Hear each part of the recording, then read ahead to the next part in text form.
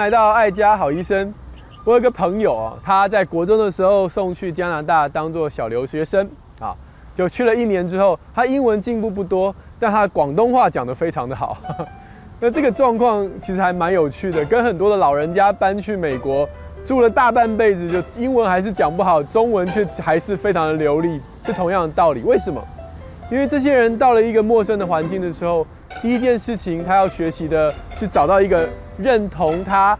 可以让他有归属感的一个团体，所以当我的朋友去到那个地方，一群讲广东话的朋友接纳他，他先学的是广东话。至于老师讲的英文，那是他跟我不同国的，我可以之后再来学就好了。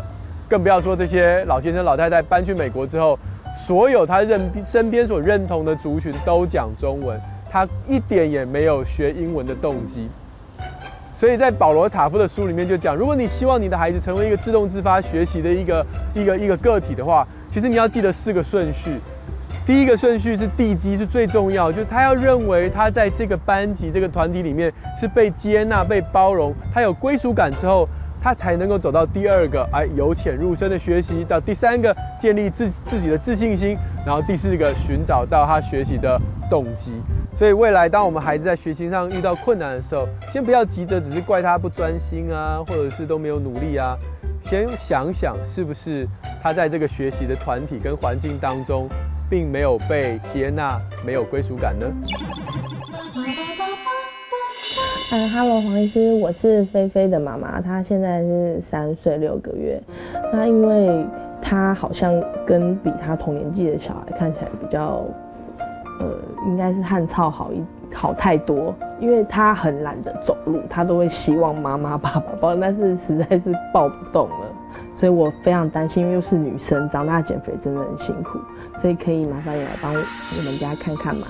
常常有人开玩笑说，她喝水也会胖。其实我都好奇，就是你到底喝的是什么水？啊，有吗？你真的喝水就会胖吗？有加东西吗？没有，真的。问问题是，这个手摇杯的文化到底是从什么时候开始？因为我们常常说啊，我有喝水，喝水，喝水，喝水。其实我其实都在喝饮料。对。甚至我以前住院医师的时候，严重到我就是自己带的水壶，我都还要，比如说，哎，今天买一个什么红红茶什么，然后就去一定要加点。味道我才会觉得，所以我最近是那那三五年胖了在十公斤哦。护理站那个大家就是一定要订的啊，每天都要买单啊，对啊，不订就没朋友了，对对对，所以还是要买。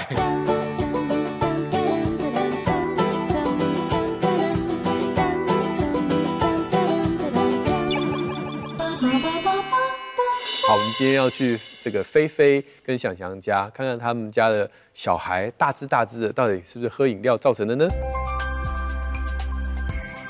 ？Hello，菲菲妈妈你好，菲菲你好，他说医生你好。他几公斤？二十。二十。他现在几岁？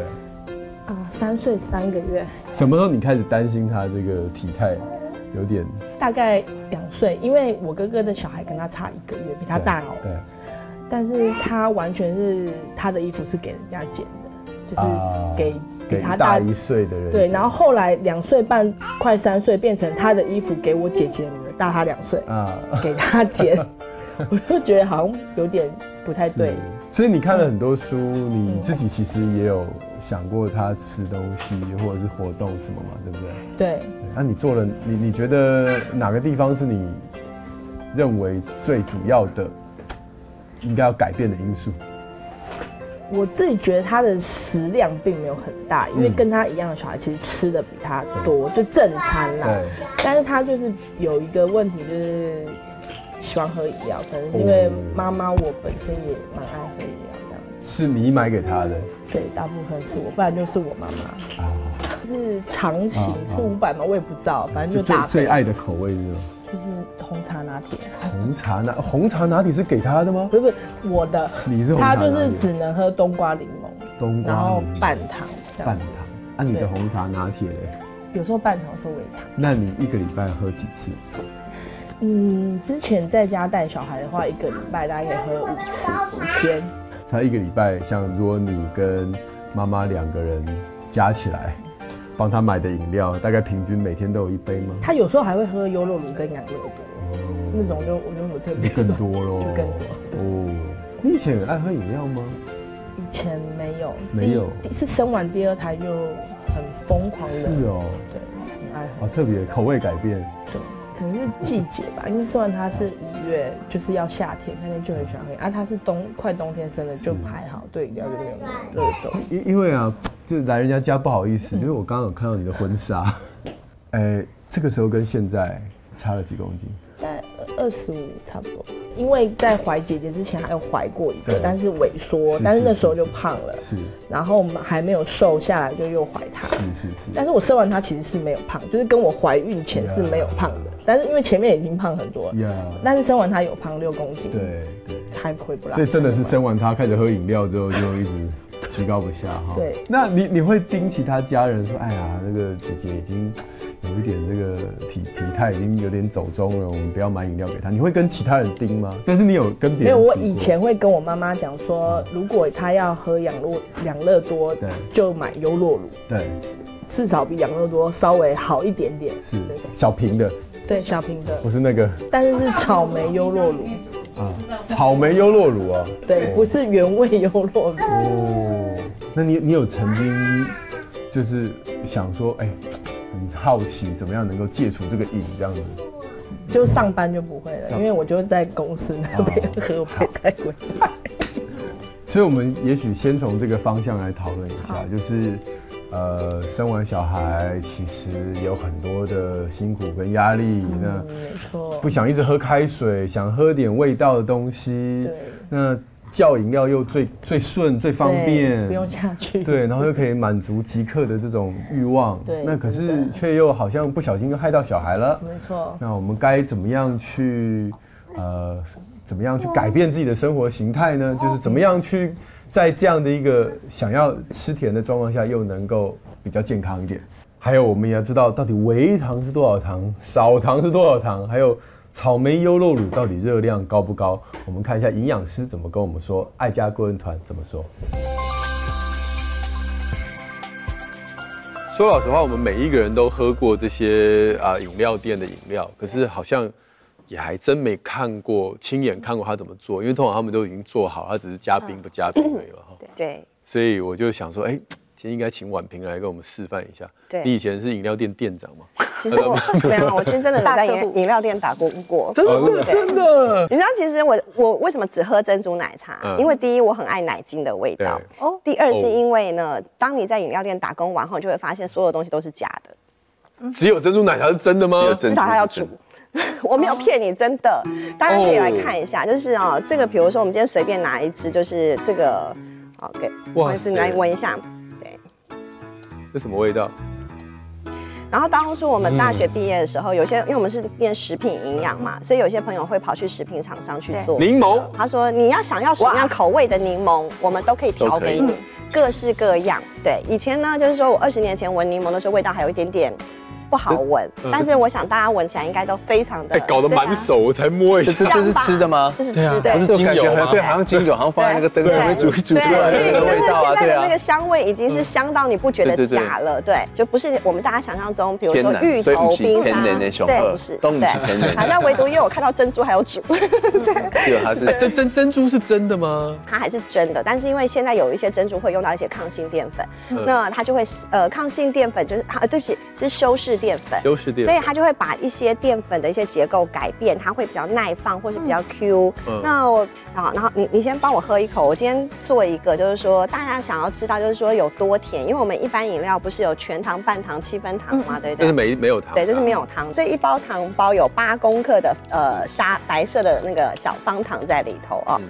我们就把它倒进去。那这边里头是接近一公升的红茶哦，嗯，好，我们就看这样子的量，好，我一边搅拌，然后你边三包，哎，人家菲菲24菲菲妈妈喜欢喝的是冬瓜红，冬瓜还有什么柠檬冬冬瓜柠檬冬瓜柠四包檬，对，所以柠檬有了啊，冬瓜嘞，冬瓜在这边啊，这边是冬瓜糖啊。其实冬瓜糖其实它会需要做一些在化学上的一些熬煮还有碱的一些的变化。不管你今天喝冬瓜糖，或是我们像今天这样的做法，基本上它最后都是糖，嗯它还是一个糖的浓缩。所以你刚刚加了多少糖？我刚加了八包糖，啊然后你来喝喝看。这八包糖是是你你认为这八包糖应该是出来是什么甜味？全糖还是大半糖？大概你们喝喝看，因为每个人对糖分的感觉不同，这样子。我现在先喝半糖，等下全糖就换医生了。来，这还蛮不错的。所以够不够甜？我觉得还半糖，半糖。感觉，嗯，对，所以半糖太半糖。太甜，半糖多一点。其实以我的见经验啦，就是如果这个在南部叫做半糖，这八包是半糖，对嗯我觉得是大概是半糖再多一点半点，糖多一点，对，嗯在北部应该就是有些人已经觉得哎够甜了，就是每个人对甜的口味，因为南部做菜的时候你会发现他们都吃甜甜的，嗯所以他们对于甜的东西就那个忍受值比较高哦。我们总所以八包大概这样子热量是多少？如果今天八包糖，八包糖放在一千 CC 是六十四公克，所以是六点四 percent 的的糖分嘛。对。对，所以对。五百 CC 应该是三十二克的糖，对，三十二乘以四是一百二十八卡吧，半糖一杯五百 CC 大概就是一百哎对。一百三十卡，大概四分之三碗饭。对，差不多对。所以全糖的话，如果糖就是应该是不。过它现在没有加那么多了，你现在再加了几包？现在总共是十二包，对不对？十二包，十二包，十二包大概但是因为水量有变少了一点了啦，嗯这个就是就是这个。应该是全的就是这个。感觉吧。对，对，这是我喜欢的味道。这是你喜欢的味道。对了，然后这个这个比较一般，就是比较正常的全。而且哇。真的我必须要承认你的茶还 OK 呢。嗯，这个茶不错哦，感谢这个茶有很特别吗？还是这个茶一般的茶？没有，我只是我 只是把它泡浓一点而已，然后哦对喝一下柠哦，现在是柠檬檬的，柠檬红茶来。哦哇哦。对，有这个，我觉得应该大概就是全糖。全糖了。我跟你讲，真的是柠檬红茶，因为你真的放柠檬的时候就不是柠檬红茶味道。嗯，你们了解我的意思。对？而且刚才那个甜好像感觉没那么甜了，对。因为被柠檬。这个的甜度一般在柠檬红茶还会更甜，嗯，所以越酸的饮料甜度就会越高。哦是。对，那基本上我们都是一百 CC 就会大概就是要放到一包的糖，就是所谓的全糖哦，不，呃差不多就是八分糖到全糖，一百 CC 就是这样子，嗯，所以你一百 CC 就会放一包的这样的糖的量，五百 CC 就是五包到六包。可是你想哦，我们一般人不会拆开一包糖吃进去，可是我们很容易在对喝对饮料的时候把它这一口就喝掉了啊。你说这如果是一百 CC 加一包糖，一口就对没了。它的代谢是需要很多的 B 群来帮助代谢。嗯可是问题是因为我们的饮食里头，你有没有吃糙米、五谷杂粮，所以那些 B 群根本都吃不到，就会变成你这个糖在体内就非常的难代谢。哇，对，所以很多人就会有一些 B 群的缺乏现象。你看到很多有些人就会容易很累，莫名其妙的累是一种。好，那在因为小孩朋友看不出累，嗯但是你会发现小朋友他有可能有口角炎，或是你会发现小朋友有时候他也会有点。你闻他的味道，有时候他快要有一种味道的时候，就是有点像是我们熬夜的那个味道，是什么小孩的味道。熬夜的哎，你熬夜吗？是，你怎么知道？就是应该说医学上生跟我就是说上火的味道，我应该这样形容，就是。对，那那你还没有加冬瓜啊？因为他是喜欢冬瓜柠檬。冬瓜哦，冬瓜柠檬的话就不用这个红茶了，我们就是等于用这个啊、当做基底，就是泡开它。对。但是其实比例一定也会超过十 percent。这个这边有一百五十公克，嗯，你可能就是加一千两百 CC 的水，它会有个比例嘛，嗯。然后就是泡出来，嗯。然后就这个就是我们一般煮它的一个状态。哦，所以其实如果你在家用这个煮，对然后你煮的很浓，对，其实热量也是差不多。呃，应该会比它更多，对，因为它更甜，它真的更甜，啊对，所以就会变成为什么我们现在会不建议小孩子吃这么多的甜的东西，是因为呃，在这个世界卫生组织里头，我们认为就是儿童的疾病有分流行，呃，就是感染性的疾病、传染性的，然后另外是非传染性的对，非传那以前卫生环境不好都是感染性，现在几乎就是儿童肥胖的趋率越来越高，所以刚刚嗯。营养师有提醒到一个我想非常重要的观点，就是我们在希望减少这些呃非传染性的疾病，其实就是有一个肥胖的全球流行，叫做 obesity pandemics，就全球流行这样的一个情况了哈。你喝饮料，第一个没有饱足感呢，就是喝水这样子，那你无形当中你就吃了非常多的热量在嗯在这个体内这样子，那对你的体重增加是是会有非常不好的影响。所以从婉平刚刚做的，其实这个哦，我们这样讲好了。如果在家里面用冬瓜砖煮，跟在外面买到，其实热量是差不多的，那已经已经没有差了。那如果是草莓优酪乳了，像刚刚我们菲菲说，啊。她有的时候说啊，这个手摇杯，除非被她看到来不及，不然的话，原则上，哎，他们觉得优酪乳比较健康，是吗？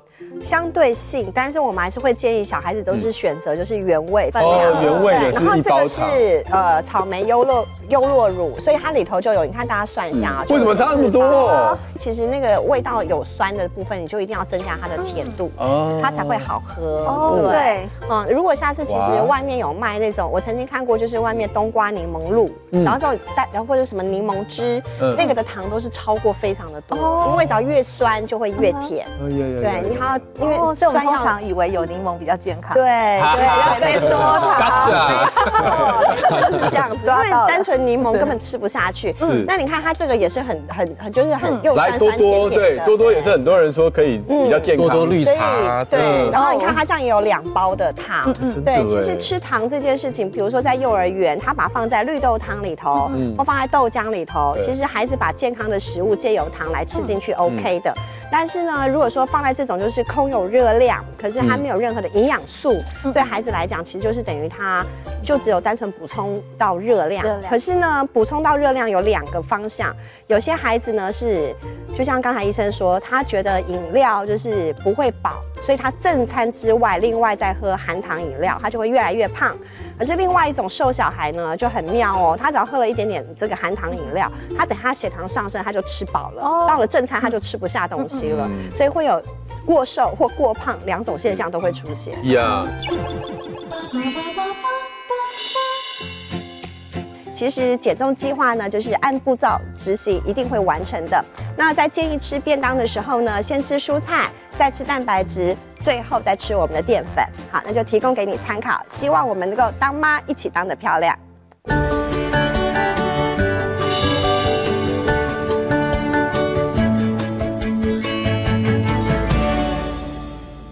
呃，我们今天讲，如果今天小孩哦或者大人好了，我也不要讲小孩，基本上因为饮料都是妈妈买给小孩，对对，那碰到两个状况，一个就是菲菲妈妈刚刚讲的，她自己受不了，她想喝，所以他就觉得不好意思给小孩也买一杯，或者是他没有要喝，他不给小孩喝，可是小孩一直吵我要我要，所以他就选择了呃一些其他的替代水的东西。是。就是当欲望来袭的时候，那怎么办？我们有没有什么替代的方法，让我们能够宁愿喝水也觉得还 OK？秘招，应该是说，当你天天都很想喝含糖饮料这件事情的时候，我会先去呃看一下他的饮食内容，往往就是这些人的饭都吃很少。哦，对，因为你知道很多人怕胖，他不敢吃饭，但他可能就很爱，因为你不吃饭，但是你会很容易饿，饿了等一下你就会身体自然就会告诉你说，主人我我现在好虚弱，没有东西可以吃，嗯所以他自然就会想要吃葡萄糖或是含有甜分的东西。哦，吃饭这是你的绝招。对，然后再来就是说，像这种我们这种偶尔想喝，像我最想喝的时候，就是当我在做研究报告的时候，我交不出我的论文的时候，找不出那个方向的时候，我就会觉得我很想喝饮料，那就算啦，人生何苦呢？对不对？是对，所以就是要看状况，就是看你的频率。那我们想要解决的是那种天天喝的人。小孩子其实像我们家就是给他，就是说你去便利商店的选项有什么呢？反正你就是只有好原味优酪乳、牛奶，然后再来就是豆浆或米浆，就大概这几个选项。对，因为我们刚刚在他家的时候，菲菲就这个果然欲火上升，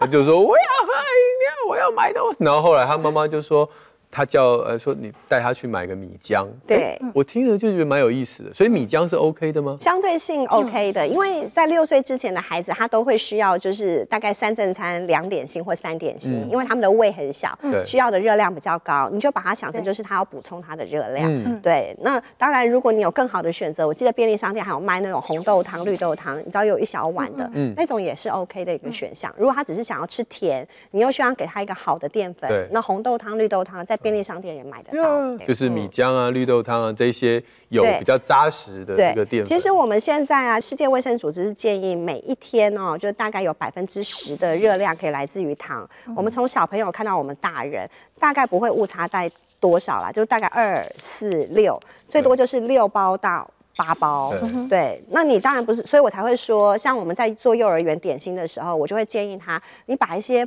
就是很健康的东西加点糖，它是可以的，是好的。啊，那但是量过多的时候就会有问题。对而且不是含糖饮料只有说喝哦，是包含我们吃蛋糕啊，嗯小朋友吃糖果啊，吃饼干，或是我们做菜有没有？或者是我们放蜂蜜水，全部都叫做含糖饮料。对，就是和额外的糖的东西，额外的。糖，对。其实你可以把这些糖做在你的正常的饮食里面、啊。对。哦，那在正餐里面，哎，小朋友觉得哦，这个糖醋怎么很好吃？哦对对对那其实那个糖分反而不会像是一杯这样子喝下去空热量。来的空热量，又来的又急又快，然后又全部都吸收殆尽。跟着食物进来的糖，应该它的吸收是稍微没有那么的直接，也没有那么的快。而且你知道，就是我以前我们记得有一次有一个客户、哦，他大概四十多岁，然后他检查出来就有糖尿病，就是开始这样哈。那因为其实先有生化数据是血糖高，然后接下来就是我会问他饮食内容，我就问他说，哎，那你喝水啊、你喝水一天喝多少？他就说他没有喝水。我说那你喝什么？他就说他们家饮料就是他们家的水全部都是喝这种饮料。嗯，我就因为我看他的资料上面有写两个小孩嘛，我就说那你家小孩也这样喝哦？他说对，我跟他说，我跟你讲，虽然糖尿病不代表一定是遗传，但是哈、基因的相关性很高。你现在四十岁就糖尿病，你希望你的孩子不到二十岁就糖尿病吗？嗯，好，那营养师刚刚给我们的这个建议是说，好，当欲望来袭的时候，大人可以先从他正餐开始做，你把他正餐的这个食物吃的扎实一点，比较不会想喝。那偶尔偶尔一次放纵自己是没有关系。那如果比较每天需要这个一点甜分的时候，可以跟小孩子一样，用米浆啊，用绿豆汤或其他的方式，甚至把这个糖放在食物里面，哦，让这个小朋友能够吃到一些甜的食物在正餐里面。可呢，以以你们医生的角度而言，如果要减重，第一步就是不要喝饮料。对那如果说要控制欲望，我想一样，我同意那个婉平的对说法，就是我们要处理的是第一个，他真的有肥胖，而且有肥胖的并发症，这个当然是我们最担心的。嗯然后，那还有就是他如果真的这个饮料天天都要喝，我会建议要喝开水啦，嗯。就是把饮料就要喝开水。嗯，你可以用那个我们的茶叶。对泡泡一下，那就是我们一般的对泡茶，然后你放冷就是冷泡茶，哎，喝起来有点味道，因为没有额外的热量，或者是你一开始就习惯喝很甜，那你一开始可以加一点点糖，微甜。啊，第二个就是我小朋友，基本上就黄医师说的，小朋友吃什么都是大人给的，真的，对，所以所以他吃什么他会吵，他对他为什么他为什么这个小朋友为什么那个菲菲他会每天吵着喝饮料？因为他养成喝饮料的习惯，就是习惯其实从小养成。那我想菲菲其实年纪很小，对啊她才三岁六个月，健康的习惯越小越容易养成。你等到他十二岁青少年，他每天喝饮料到了青少年，你要改这个是非常困难。对，那三岁六个月的小朋友，当然就是你可以给他，像刚刚营养师说，你给他选择食物的选择，对对对。不过以菲菲的状况下，哎，她应该是有有有在改变，因为你看，像妈妈已经规定了啊，你要喝你就喝米浆，嗯嗯，哦，或豆浆或什么。那以后就是跟我这个阿妈讲说，哎，以后买优酪乳就是买原味的。原味那我觉得这基本上对菲菲就是个解套。慢慢改变对。我想这些习学变。那我补充一下，其实有些东西是可以给孩子喝的一些就是代替的饮品啊、比如说像洋甘菊茶或是菊花茶，它们是没有咖啡因的，嗯或是麦茶也 OK。哎，那有点味道，洋甘菊甜甜的。对对对哦对然后再来，其实还有一种叫做甜菊，那个泡起来就是非常的甜，真的是非常的甜。可是它是天然的甜，不是代糖。对所以这个东西也可以加在你想要呃放的一些呃这个饮品里头。那哎哎，黄医师，小时候胖，长大就是胖吗？在学龄前，大概五岁四岁左右，肥胖的孩子很容易就到青少年的还是肥胖。嗯嗯，所以现在这时间点，可能还觉得哎、好像还有点遥远。对，但是这是个习惯的问题嘛，你要改变个习惯，不是说一一天一天一个晚上几个礼拜就可以戒掉的事情，是要花点时间去做处理。对，所以三岁胖，将来就是胖。嗯，哦，那这个那就 背这不是当然不是救啦，只是说就是几率就特别高。嗯那背后原因可能是跟我刚刚讲的一样吗？所有的疾病都一样，遗传跟环境啊。对，所以其实说实在的，就刚刚一开始黄医师有讲的，就是有些人喝开水就会胖，没有到那么夸张。可是有些人真的吃少少的就会胖，像黄医师，我相信他他刚刚说他饭很吃很多，可是他身还是这么瘦，我们体质是改变不了，所以我们就从环境做啦。对，那肥胖当然对健康，我们现在很多很多研究对健康有非常多不好的影响。不过一般大部分的研究是在小朋友来说是大概是六岁以上，嗯，我们比较担心对健康会有不好的影响。六岁以前其实倒还好啦，不过就是呃呃五岁以后啊，青少年啊，这个持续都会一直到成人。对，所以有时候我们会在讨论基因，真的就是你会发现那个家族都比较偏瘦，嗯可是你会发现，比如说这个家族，我们煮什么给他吃。久了，它就会变成那个样子，对，所以环境还是会影响到。那尤其是呃家庭的教育真的很重要，有时候在六岁之前的坚持哦，我觉得还蛮重要的。比如说呃大学生的肥胖，你就会去问他，他以前就是什么时候胖？如果他只要是国国高中生胖，基本上哦，他大学的那个胖哈，或者他出去以后都很难受。嗯，就是尤其像我们女生又爱漂亮，但是减重很辛苦也很痛苦这样子。对，对就是提醒大家。菲菲妈妈她因为这个有在喂母奶，就觉得说啊，反正我就继续喂母奶，啊也许我就会瘦。很多妈妈也都知道喂母奶会瘦，可是为什么有些妈妈就真的很瘦，有些妈妈就是喂了母奶还是不会瘦？当然我们在讲说一天会消耗五百大卡，对对不对？那那个其实五百大卡奠定在是它你喂了多少奶。如果说有的妈妈她可能呃她觉得她奶水量很少，或者她没有真的没有喂很长的时间，她一天可能只有喂两餐啊，或是一天只有几两百 CC，那个也那个只有一百多卡，一一 CC 大概在零点七大卡左右吧。那如果说是双胞胎，我们上次不是四胞胎喂母奶嘛，那个妈妈就很夸张。对对对，她就可以每天多吃好多东西，因为她消耗很多热量，对，还很瘦对，没错，对。那所以其实是跟她就是喂了多少奶有关系。呀嗯所以你吃进去的热量跟你挤出来的热量，其实还是要做一个平衡。对，那有些妈妈觉得说，哎，她吃很多东西来发奶，其实发要让奶水增加的话，要多喂奶，多挤是奶，不是吃很多东西。呀嗯呀，我想请问一下黄医师，我们家弟弟他现在就只有喝母乳，然后也没有像姐姐一样一直喝饮料，可是还是汗臭非常好。我想问一下，这跟遗传有关吗？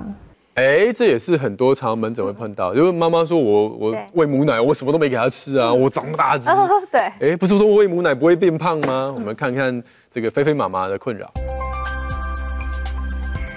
哇，所以也是没有错哈，弟弟也没喝饮料，也没喝优酪乳，他也是很有分量的。对，他都吃什么？母奶母奶，你喝母奶？你吃副食品，对他吃的量多吗？一百克一百克，那很一餐一百，一天吃两次。是对，啊，他出生就很大只吗？没有三零二零，出生三零二零，然后现在八个月十1.5点五，然后中间都是喝母奶。对哎、我可以看一下，你有母，你是亲喂嘛，对不对？对，啊，就是想到就喂，想到就喂这样对。。那你一你你他哭我就会哦，他他跟姐姐比，他很迷恋喝奶这件是事是。对，我可以看一下你的可以库存吗可以可以。对，冰箱，冰箱打开，这个。你这个是因为太多了，所以挤出来放的这样。呃，对，对，因为其实你都是轻微。没有我睡前会给他喝一餐配方的，哦就是睡前那餐吃，然后我睡觉前我就会挤。哦，好。啊，你有没有没结冰的？有有，给我看一下。你好像快要抱不住，需要我帮忙？没关系，不用不用，等一下妈妈用。走开。这个是说这个是水不是吗？呃，那个杯杯子我看杯。子要吗？你看，这个是乳清的这个，所以到底哪个是油啊？这个还是他说这个是脂肪，这是脂肪这个才会饱，哦，好然后那是水分，好，所以应该是这个是油。是，所以白色的是油。对，好像是好了，我也没什么耶经验，待会问一下 有在喂母奶的妈几个人可以讨论一下。那我们可以出去气了。你有你有去记录它的百分比，嗯，所以它大概是在你看它出生的时候还好，两个月的时候五十 percent，四个月的时候就破百，对。所以大概两个月到四个月的中间，突然间呜，像吹气球一样。对，你你一天亲喂几次？嗯，因为他很很迷恋喝奶，，就是数不清了。对，好的，所以一个健康的宝宝出生的时候大概不到五十 percent，然后两两个月到四个月突然嘣吹气球一样跑到九十八 percent、一百 percent，甚至破表，到底跟喝母奶有没有关系呢？妈妈的饮食会不会让母奶的热量变很高呢？还有母奶里面到底那个脂肪的成分跟它的糖分百分比是多少？我们看一下爱家顾问团怎么说。喂母奶的那个胖，像他现在八个月，八个月然后十一点多，嗯，真的是可以。我我其实刚刚在他家厨房真的是自己乱吹牛，我其实我也不晓得，嗯是不是能够看从母奶的那个脂肪，然后看出这个母奶热量高不高？每个妈妈的母奶热量不一样吗，不一样啊，而且你所以不同有错嘛间挤出来也不一样啊。白白那是油，对对，真的是有。那我可不可以说，哎，这个 A 妈妈那个油特别多啊，B 妈妈油特别少，我就说 A 妈妈的这个热量比较高，妈妈的那个母奶。所以我们通常不会这样去比啊，尤其是那种在保姆家，或者是保姆带好几个孩子，他说这个妈妈的奶营养，这个不营养，这怎么样？其实很伤害耶。嗯说的也对啊，，对，其实最主要那个油脂有时候会，你看起来黏黏稠稠，你就会觉得很营养。嗯，然后你看起来稀稀的，就会觉得不营养。对但是其实就是我今天如果我吃橄榄油做菜的人，跟我吃猪油做菜的人，或是我吃很多的 cheese 的人，其实因为那个油脂的饱和脂肪酸不同，对所以那个油脂就会不同。所以像吃橄榄油的人，他都会比较清清如水的感觉。可是如果你吃很多花生、猪脚、牛排，然后 cheese 的人，他的那个油脂就会怎么样？很黏，那就是饱和脂肪，那不代表你的营养很好。闻得出来吗？会不会说，哎、我闻一闻，我就说，哦，妈妈，你昨天吃吃猪脚哦，然后闻一闻，那你这 你家里用闻得出来鱼闻得出来，鱼会有一些人会闻得出来，而且有时候对冷冻之后，对对对会闻出来。鱼会吗？会哦，所以如果哎吃鱼多的话，那个里头，他们其实真的在台湾，我们有做过研究，就是吃鱼比较多，三天内有吃鱼的话，你的母乳中的 DHA 就会增加。增呀，当然对。对。嗯。然后你如果吃烂的油，就会把那个好的油挤掉。对，那其实基本上母奶是个很神奇的食物。对，其实他们有研究过第三世界国家的妈妈在喂母奶的时候，它里面的成分是不是真的比像我们在在台湾的在在这个那么资源丰富地方的母奶，是不是真的有脂肪上的差异、蛋白质上的差异、碳水化合物差异？其实没有的，可以保持一个 range。宝宝喝了它比较呃稀的奶的状况下，它反而它的奶的分泌量会越来越多，嗯，来弥补那个那个营养的成分的差距。哦。对。啊，所以这个每一个妈妈她都会因为环境状况就做做做调整，是。这是对。这个是母爱真的很伟大的地对，其实我觉得上天真的是很奇妙，我们会优先供给给孩子，对，对，但是。呃，有时候啊，就是 因为严重的对状况下，对，优先供给给孩子，但是有可能自己会缺乏。比如说你有今天有吃海鲜，你的乳乳汁中的矿物质锌比例自然就会增加，所以会跟矿物质跟维他命会有影响到这样。是是，对。所以三大哦，所以我今天学到一课，就是哎，所以妈妈的母奶会跟她吃的食物会影响，可是可能三大营养素影响的比较对，少。三大营养素只有脂肪会影响到脂肪酸的比例，比例。对，但是量是一样的，嗯。好是比例脂肪酸不同，对。但维他命跟矿物质跟植化素三种会改变。有改变那因。为植化素的不同，所以味道母奶每一批的味道会不同。那这个呢，就会影响到孩子未来挑不挑食。嗯因为食物恐新症，他会从开始喂母奶开始，他都在熟悉那些的苦味或任何的味道。孩子对于他的接受度，就会在他自然接受副食品的时候的呃 tolerance，就是嗯嗯，对，呃，耐受性。耐受性就会增加这样子。嗯，哇，那那意思就是喂母奶的时候不能喝饮料了。我们上一节 没这样说啊那个。小孩就其实你知道我自己非常爱喝珍珠奶茶，但是我真的强烈告诉大家，喂母奶的妈妈不要喝任何的珍珠奶茶，也不要吃喝任何的奶精，因为那样的脂肪酸会造成孩子的脂肪酸的那个也会改变把。好的脂肪酸排挤掉了，对，甚至会对他们未来的荷尔蒙发方向都会有一些很大的一些影响性。所以虽然我爱喝，但是我会鼓励在那个母 就是喂母奶的妈妈，真的不要喝任何的奶精，就算它是没有所谓的反式脂肪酸的奶精，都不建议这样。对对，依然不是一个天然的一对对，如果你真的想喝，就用鲜奶茶的奶，这样鲜奶这样子，对。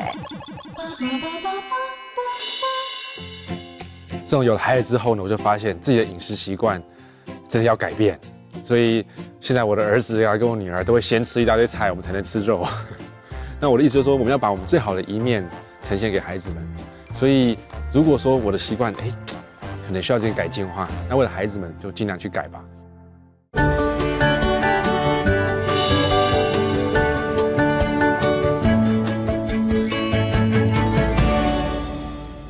很多妈妈在喂母奶的时候，她也许没有像我们刚刚上一节那边喝什么一堆饮料，可是他有喝了很多号称会发奶的东西。哦那这些东西是不是也会影响到他母奶里面的刚刚讲的一些营养素呢？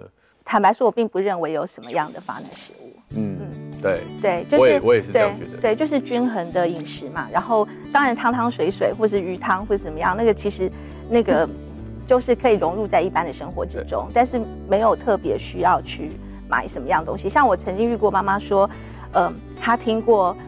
呃，像说黑麦汁好了，说可以发奶，但是她事实上她并不喜欢这样子的饮品，对然后强制自己去喝，其实那个很痛苦，对，没有没有需要。那如果说就像说我们在讲花生猪脚，很不喜欢猪脚的人，他去吃这个真的很不舒服，对对对，然后甚至于还过敏什么的，那个真的不好。比如说你产后第二周的妈妈，你可以吃比较油脂高、嗯热量高的蛋白质，比如说像我们说的牛腩啊，嗯。或是花生猪脚啊，这种就会热量高，所以你乳汁自然会来。嗯。好，那什么叫做热量不高呢？我举个例子，我就在月子中心碰过妈妈呢，就是她乳汁不够多，我就是说，然后她瘦很多，对，因为她想要减肥，所以她非常非常喝了很多的汤，但是她不吃饭，所以她热量不够，所以她的乳汁不来。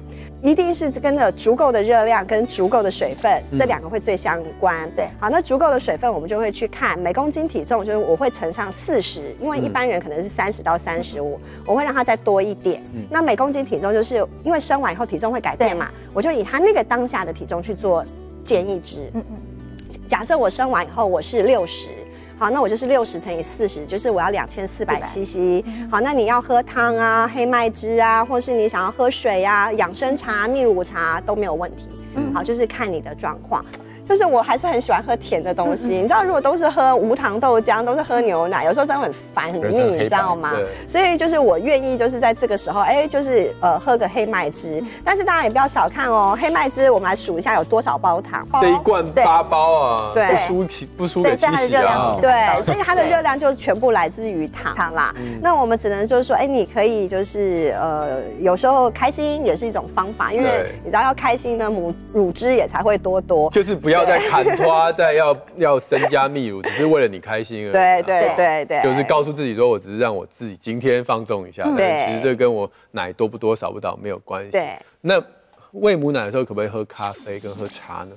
基本上研究上是可以的。可以的。对，如果说用美式咖啡来讲的话，研究上大概是七百五十 CC。对对，可以的意思是不会影响妈妈，还是不会影响小孩，还是都不会？不能讲小孩啊，孩因为因为越小的孩子，他的咖啡因代谢会需要越长的时间。哦所以基本上当然不是说研究说三七百五十，你就真的拿七百五十起来灌。嗯嗯，所以我们一般就会建议就是一杯的咖啡嘛。那比如说，因为小朋友喝了咖啡因，他其实有可能就会比较躁动，然后睡眠就会比较不睡。那苦的是谁？苦的是家长，是对啊。不过研究起来看起来应该是就是像刚刚高老师讲的，在统计上是没有差异对啦。哈嗯。那也许你家的孩子特别的敏感对，，就看那每个孩子。对，那你觉得特别敏感，你的孩子一喝咖啡，你就就他会睡不着，你就减量、减量再减量嘛。哈、对但但是不会有长远的影响，然后大脑会坏掉或干嘛，应该是不会。不用那么担心。呀呀呀！其实轻微的妈妈她可以早上喝啊，对啊对，早上喝，对。呀还有很多妈妈会问说，那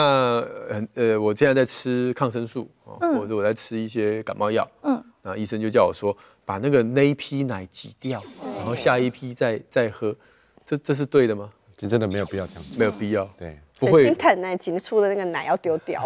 哦，表示这个药在母乳里面成量成分量是少之又少，而且对孩子没有任何的影响。对啊，现在有很多的母奶跟药物的研究越来越多。是，对，而且其实对里面就对不会出去。对对对，而且其实一直支撑我的，我上次就说了嘛，就是你爸说的，嗯还没有确定不能喂奶之前，继续喂这是最好的选择。呀，说真的，因为像很多的药品，很多妈妈会担心说，哎，我看我在喂母奶，我可不可以看牙医？嗯嗯我可不可以照 X 光？当然都可以啊，嗯对啊，嗯，对。那其实你就想说，抗生素婴儿都可以吃了，对呀。对，那为什么通过母奶的不能吃？没有错，所以母奶里面的量少之又少，甚至根本不存在，不要自己吓自己哈。对。那我们最后回到想想啦，难道就是任凭他这样下去吗？还是说你觉得未来是有希望的？他是纯母奶哦，他没有喝别的东西长得很哦。好啊。对，对，其实我觉得可以观察，因为你你去他家的时候，你不是发现他是。呃，三个月、三四个月长得最快，对不对？嗯。其实我在想，另外一个指标就是六个月之后，它应该是会变慢的，啊因为母奶的成分在前半年六个月前跟六个月之后其实不太一样。前半年的话，月之后会母奶会变得比较淡低脂，低脂。嗯。哦，嗯，他其实十一个月了，一天只有吃两百公克的副食品，其实是太少了。嗯，还可以再增，加。他应该要把乳呃母奶下降，然后但是把副食品增加，嗯。然后而且要越来越练习不喝流质的东西，因为喝流质越很容易会造成未来的肥胖，所以他开始要更练习他的咀嚼，让他的咀嚼能力会更好，然后吃固体食物越多，才能够让他的这个体重可以慢慢再往下，呃，对不起，孩子不会往下，就是可以让他比较平平稳、对平稳的对状哎、态。可是我也有碰过有些宝宝，他就是吃辅辅那个辅食吃呃副食品吃的很好，奶照喝啊，对啊，我觉得他们两个胃。对对对，奶照喝啊，所以好像并没有因为副不过食品增研究里加他的奶头会啦，因为我们刚才讲说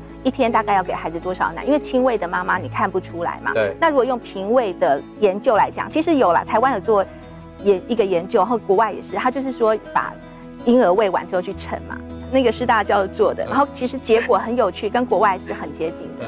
那平均值一天大概是七百五十 CC，那当然少的孩子大概吃到六百，那多的有到一千。对好，那中间值七百五。那但是呢，他那个研究到六个月以后开始副食品的介入的时候，因为每个孩子接受的速率不一样，对那所以就会出来。如果说呃副食品接受度少的孩子，他那个时候的呃平均奶量就往上跑，就会到八百多。对，可是当他副食品变好了，吃的多的时候，他的需求会变少了，可能到对五百多下来了，对就慢慢下来。那一岁之后可能又更低。副食品吃得好这件事情，我就会再多问。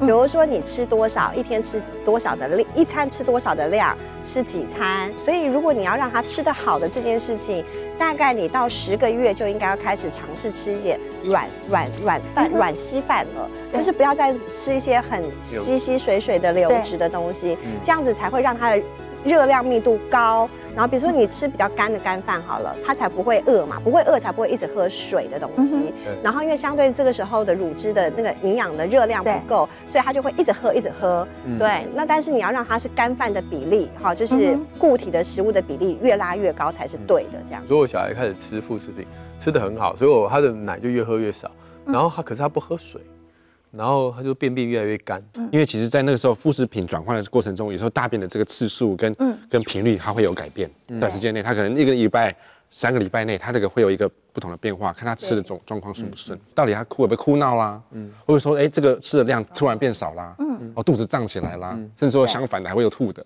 是真的是便秘比较多天、更多天的。哦，这都有碰过的。那所以主要是要看说他这个是个急性的问题呢，还是说他是哎他有它有在发生，好像是硬硬的感觉，但是它吃的量啊 OK，我还是副食品还是有这样在加啊对，那那还是喝差不多啊。可是不成比例啊，那那降了一半，副食品是是有水，可是不多啊。就之前在录的就在讲说，就是要看它的尿尿尿的量怎么样啊，对不对啊？所以它的尿布都还部分是 OK 跟平常一样的，哦，没有突然的尿量减少一半，哎，那你就哎这个这个喝水的多多寡，是。对我来讲，主要是我们都被某一些厂商这个洗脑了，然后六个月到十个月要用这种喝水杯，然后之后变这种喝水杯，之后再变这种喝水杯，然后最后再接杯子你就要买一系列，有没有？对对对。然后呃这个不要啊，小孩这个也不要啊，这个也不要，这个也不要，然后喝喝看啊，我买了两三百块啊，然后之后他就很讨厌喝水这个动作。然后你把那些杯子丢了，你给他一个一个一般的杯子，对然后就喝或者不行吗对不对？或者杯子加吸管。呀，试试吸管一定要那么难吸吗？其实可以好一点，就是粗一点的，有什么关系吗 啊对？Anyway，这个是衍生出来的话题啊。所以八个月现在虽然想想体重这么重，但随着他之后吃副食品，还有母奶本身在六个月以后的热量都会渐渐的跟以前不同，都会降低。嗯，所以他这个呃长长胖长。长大的趋势并不不不会延续的以前那么快的速度，是会趋缓。是啊，呃，世界卫生组织它公布了一个，就是二零一六年那时候公布一个婴儿成长的曲线。嗯那其实一岁的孩子，他的标准体重其实大概十，男生的话在十一公斤，对他已经到了嗯十点多，对他已经到了。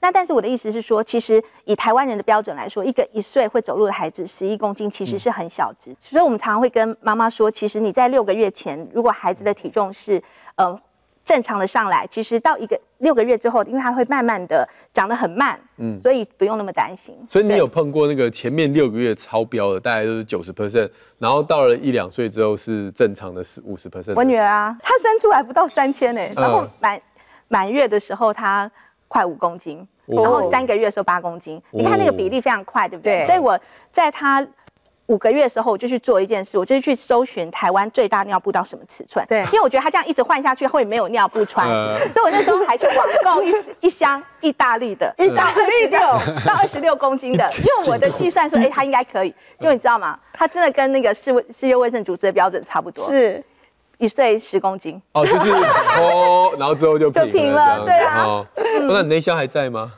当然是送人，而且而且还很难送哎。对，因为只有十六很大公斤很大哎，好的，稍微补充一点点，就是那个我们小小朋友年纪太小，如果肥胖的话，第一个就是我们要考虑，不过这种情况非常的少见，不到一个 percent，就是它是一些 syn 我们说 syndromic 的 obesity，它是因为生病导致的肥胖，好像最有名最有名大家有听过就是小胖威力，嗯。对，那其他像是什么医医学名词什么巴多比多 syndrome 啊，嗯甲副甲状呃甲性副甲状腺低下、这些疾病，那或者什么 BWS Beckwith Wiedemann syndrome 这些疾病，它除了肥胖以外，它会合并其他的问题，是外观异常或者是发展迟缓。是大部分在两岁以前，小朋友的身高体重如果 cross percentile 这个是很常见的，所以可能前面长得很好，哎，后面慢慢趋缓，这个其实是临床上我们是男的会。怎么面对小时候胖这件事情？他真的以后就一定就是说，我们不处理他，真的会一直胖吗？还有还有那个抽高，他就会瘦下来，这到底是是不实的期待，还是真的会发生？这个肥胖的轨迹是很明确的啦，所以小时候胖，其实长大肥胖的机会就高很多。